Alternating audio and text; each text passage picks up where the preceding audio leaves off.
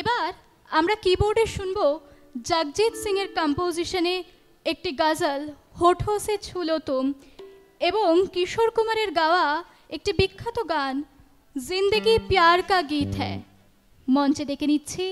আমাদের পরবর্তী শিল্পী সম্পদ মুখার্জিকে।